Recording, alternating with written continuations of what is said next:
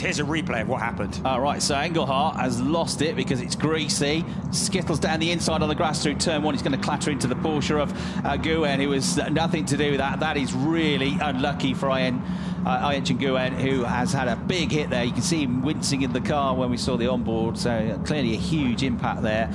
And uh, yeah, I mean, you know, nothing Christian could do about that. He just lost the car going into the corner. And then when you're on the grass on the inside, that is very slippery and muddy from the overnight rain that we had. And the car was completely out of control. There's the onboard view from uh, perspective big hit there, and you can see the uh, the back of the car, the engine was exposed, and uh, this is what it looked like from inside the car. The incident's under investigation, but oh. just a racing incident, I'm afraid. Yeah. To release the wheel, because you see how it snaps around there, the steering wheel, the impact. It's very easy to break your thumbs or your wrist there.